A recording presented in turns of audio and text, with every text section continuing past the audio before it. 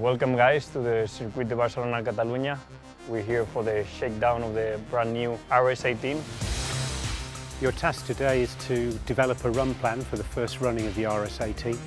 The Academy engineer that develops the best run plan will be selected to work alongside me in the garage.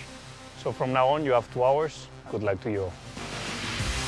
It's thinking about what steps you'd go through as you run the car, safety checks, information you want to gather, and how you get the best out of a full day of shakedown. We need to make sure we've got a safe and reliable car and that we spend as much time working on performance as we can.